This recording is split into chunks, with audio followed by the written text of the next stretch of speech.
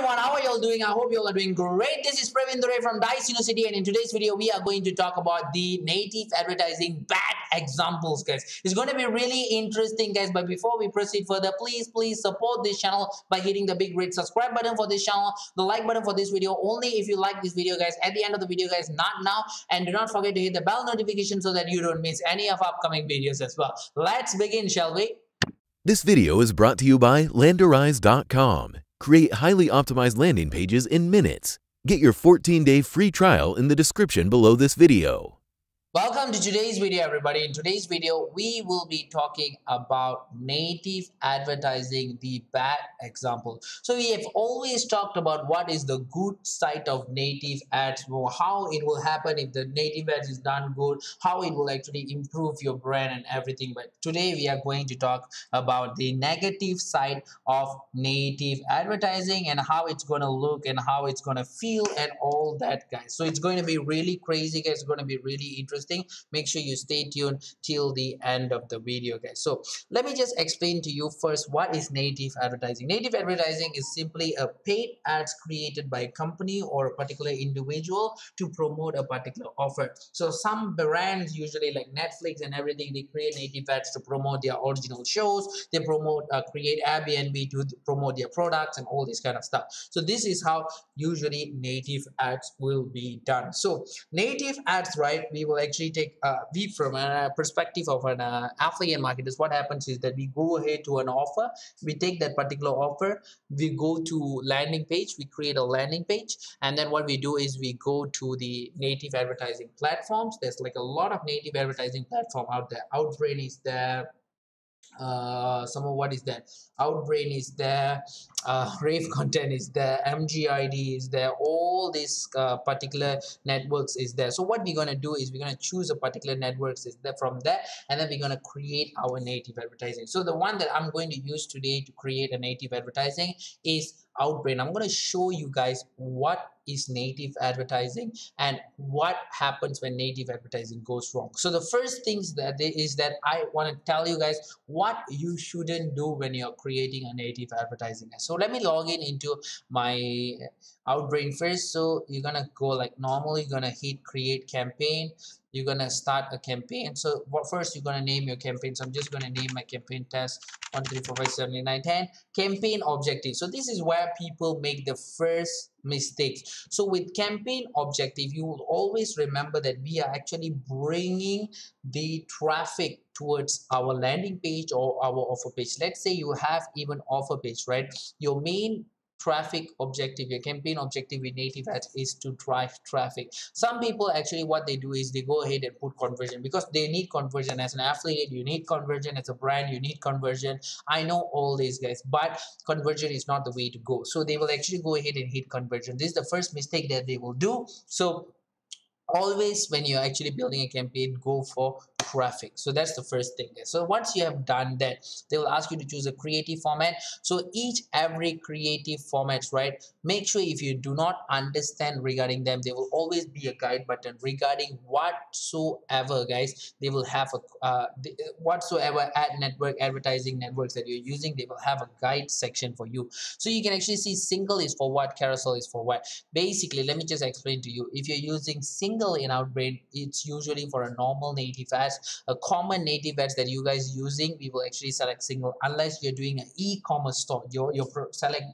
products you're selling clothes and all this kind of stuff then carousel comes into the play so the budget so the budget is where people get uh, uh, people get confused a lot as well. So the first thing about the budget is that when it comes to the CPC, right, it's always use the suggested budget. So if you click on each each native advertising platform, they work a little bit different, but most of them will have their suggested budget. So their suggested CPC budget, you have to go ahead and use the suggested budget. I would highly recommend you to do so. But if you're a little bit uh, extreme and aggressive, what you're going to do is you're going to increase the advertising a little bit. You're going to increase it you increase the budget a little bit more. So when you increase the budget a little bit more right you will get more data. Keep in mind that native advertising is actually a data business. So the more data you have the more easier it is for you to actually optimize your campaign. So make sure you do it correctly here. So a lot of people actually make a mistake here.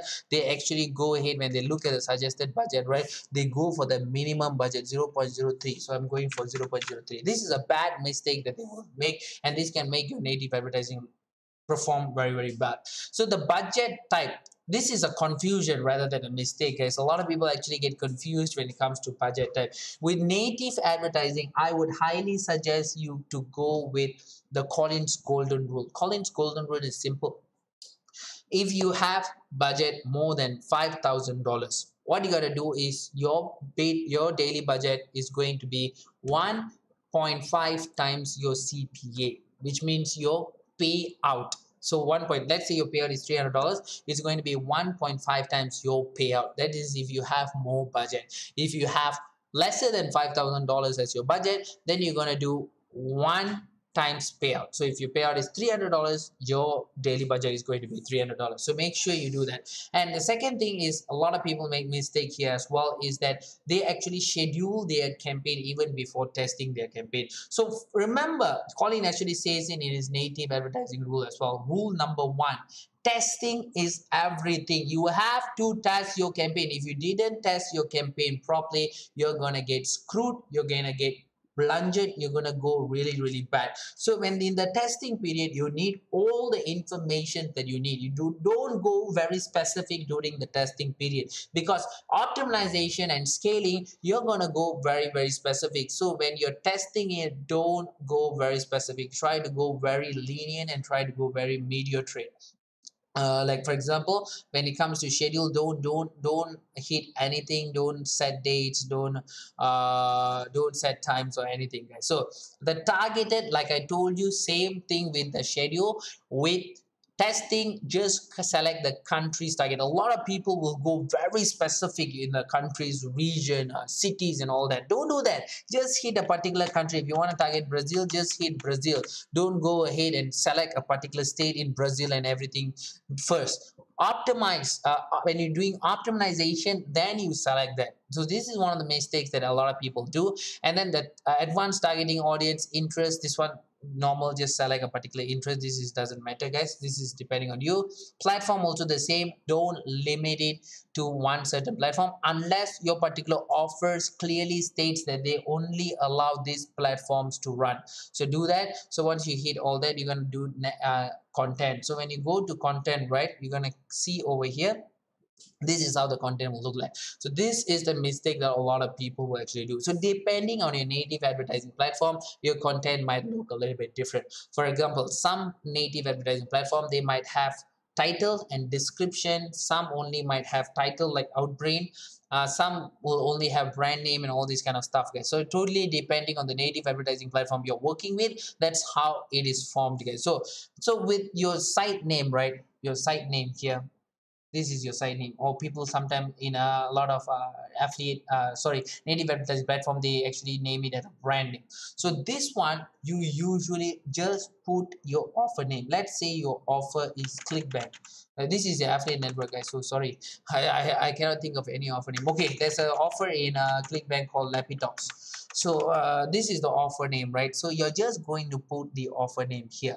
Or there's another way how you can actually use it. So you're going to do www.lapitox.com you can actually do this something like this which is which will be really uh, wise thing to do as well. A lot of people make mistake here is when they brand name right? They actually see oh there's 60 characters available. I'm going to put a very short description for my brand. Don't do that. That's a bad thing to do. And when it comes to your title right make sure when you write your title i if you see my previous video on native advertising i've actually explained to you literally what are the good practices that you need to follow. So one of the major problem that people do in native ads is whenever they want to a best meal of the day.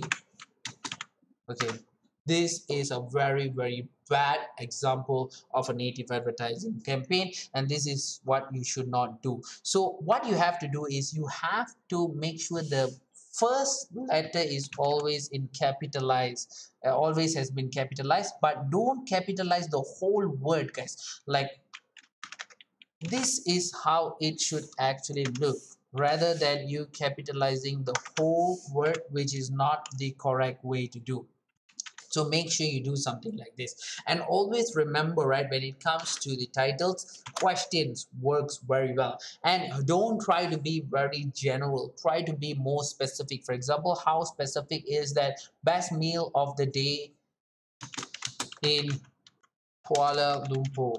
You know you're being very specific. You're being specific for a demographics you know that's that's how specific you can be. Or you can do something like this. Best meal of the day for pregnant women. You know be more specific. You're targeting a specific audience. So this is how you actually should know and do not do the mistakes guys. So when it comes to creatives right a lot of people actually do uh, pictures like let me just show you guys. Uh, is that a correct picture that I've did? No. Oops sorry. I'm just going to show you a picture. So let's say for a meal of a day right? Meal picture so I'm going to show you sample picture which is not good and sample picture which is good. So you want to what is this? Supposed to be a meal picture. So meal picture right? So you can see these pictures are not good. This is not zoomed pictures. This kind of pictures zoomed pictures are very good. And when you're doing an image right try not to have words titles in this kind of image especially if you're working with uh, really really strict advertising platforms like AdBlade and everything right? If you have this kind of captions with the word they will actually ban your ads. So don't do like this. Try to zoom in more zoom in more. So this kind of stuff. And try not to do if you're putting a picture a person's picture right? Woman's image right? For example let's say woman's image.